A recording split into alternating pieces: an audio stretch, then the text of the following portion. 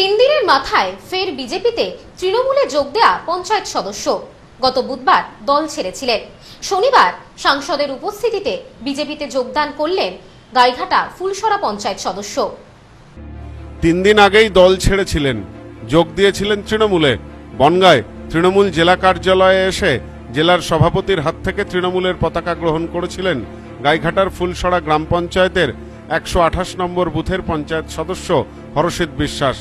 বুধবারের পর শনিবার ফের দলবদল করে বিজেপিতেই ফিরে গেলেন পঞ্চায়েত সদস্য। বুধবার বিজেপি ছেড়ে তৃণমূলে যাওয়ার কারণে ফুলসড়া পঞ্চায়েত হাতছাড়া হয়েছিল বিজেপির। প্রসঙ্গত, চব্বিশ আসন বিশিষ্ট ফুলসড়া গ্রাম পঞ্চায়েত। গত পঞ্চায়েত নির্বাচনে বারোটি আসনে জয়লাভ করে বিজেপি। এগারোটি আসন ছিল তৃণমূলের দখলে। একটিতে জয়লাভ করে নির্দল। পরবর্তীতে সেই নির্দল প্রার্থী তৃণমূলে যোগ দেন। পঞ্চায়েতে আসন সংখ্যা গিয়ে দাঁড়ায় বারো বারো। এরপর বিজেপির একজন সদস্য গত বুধবার তৃণমূলে যোগদান করার ফলে পঞ্চায়েতে অনাস্থা এনে বোর্ড গঠনের সিদ্ধান্ত নেয় তৃণমূল। তবে তৃণমূলের সেই আশা পূরণ হল না। শনিবার বিকালে বনগা লোকসভার সাংসদ শান্তনু ঠাকুর, বনগা দক্ষিণের বিজেপি বিধায়ক স্বপন মজুমদারের উপস্থিতিতে বিজেপির পতাকা গ্রহণ করে ফের বিজেপিতে ফিরে যান হরষিত। এ বিষয়ে হরষিত বলেন, কিছু ক্ষোভ বিক্ষোভ ছিল। সে কারণেই তৃণমূলে গিয়েছিলাম। ক্ষোভ মিটে গিয়েছে, তাই নিজের ঘরে ফিরে এলাম। খুব বিক্ষোভে বিজেপি ছেড়ে তৃণমূলে গিয়েছিলাম। তারপর দেখলাম যে আমার জন্য অঞ্চলের যারা বিজেপি সহকর্মী ছিল, যারা মেম্বার, তাদের খুব চোখের জল, অন্তরাত্মা ফিরে যাচ্ছে এইসব আমার কাছে খবর এলো।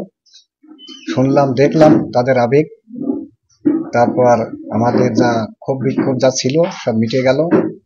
তাই আমি আবার ঘরের ছেলে ঘরে ফিরলাম। তো আমি বিজেপি আমারও মুখ্যমন্ত্রী, যে তৃণমূল তারও মুখ্যমন্ত্রী সিপিএম তারও মুখ্য, মুখ্যমন্ত্রী ফোন তো কাজের জন্য এখানে পশ্চিমবাংলার মুখ্যমন্ত্রী সেটা সবার, তার ফোন করতেই হবে।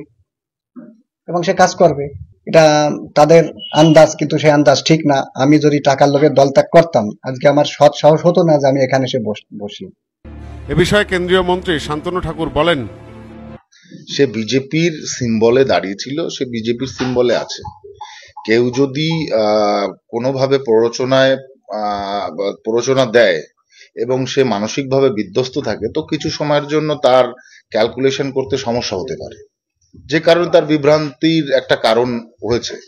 কিন্তু সে ভারতীয় জনতা পার্টিকে মনে প্রাণে ভালোবাসে, যে কারণে পরে অনুতপ্ত হয়েছে আমরা অনুতপ্ত হয়েছি।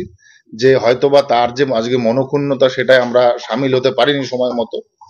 তাই তাদের, তার সঙ্গে একবার কথা বলে আমাদের বিধায়ক কথা বলেছে একবার, একবারে উনি বাড়ি চলে এসেছেন। আমাদের বিধায়ক স্বপন মজুমদার কথা বলেছেন, তাতে বোঝা গেল যে উনি ভিতর থেকে অনুতপ্ত ছিলেন। কিন্তু উনি বাস্তবে বিজেপিকে ভালোবাসেন, তাই আবার বিজেপি উনি অ্যাকচুয়ালি করতে চান।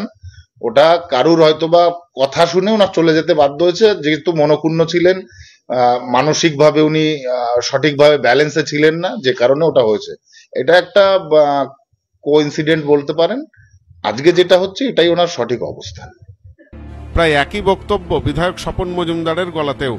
তিনি বলেন উনি একটু মনক্ষুণ্ণ হয়ে আহ, দলের মধ্যেও দুই একজনের সঙ্গে একটু আহ, ভুল ভ্রান্তি বা ভুল বোঝাবুঝি হয়েছিল তার জন্য গিয়েছিল ক্ষোভে পড়ে।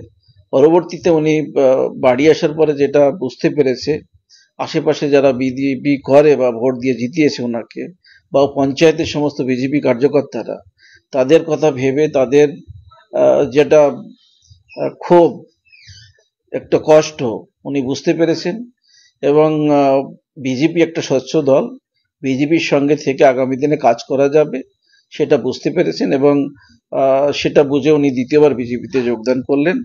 এবং আমরা আশা করি একসঙ্গে মিলে আমরা অনেকটা কাজ করতে পারব। এ বিষয়ে প্রতিক্রিয়া দিয়েছেন তৃণমূল বনগা সাংগঠনিক জেলার সহ সভাপতি Prosenjit Ghosh.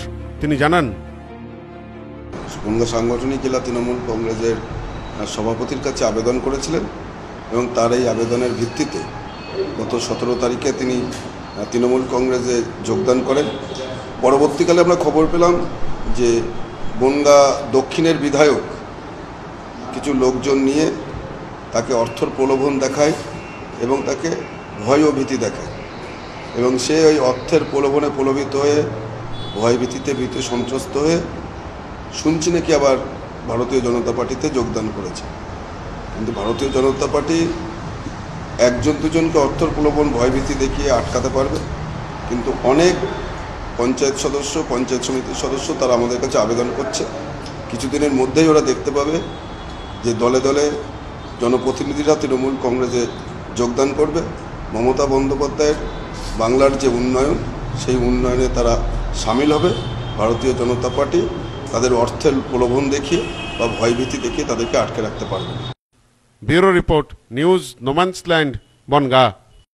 New PC jewellers সম্পর্ক গড়ে দেয়। বনগাঁতে আমাদের তিনটি শোরুম প্রতিদিনই খোলা। নেউপিসি জুয়েলার্স বনগা বাটার মোড়। New PC jewellers branch Kumudini স্কুলের বিপরীতে। New PC jewellers beauty Motiganj Hatkhola.